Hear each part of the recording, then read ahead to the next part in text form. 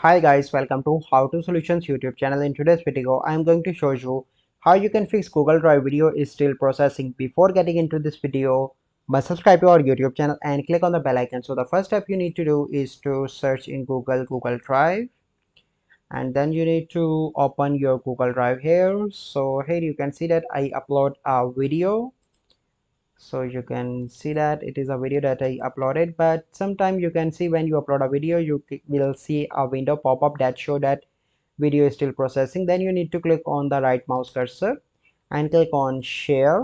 And once you click on that you can click on anyone with this links like that.